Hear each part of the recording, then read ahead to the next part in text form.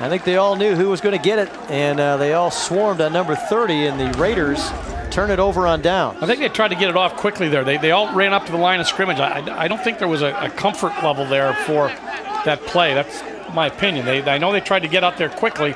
I think if they'd gone set and, and taken the regular amount of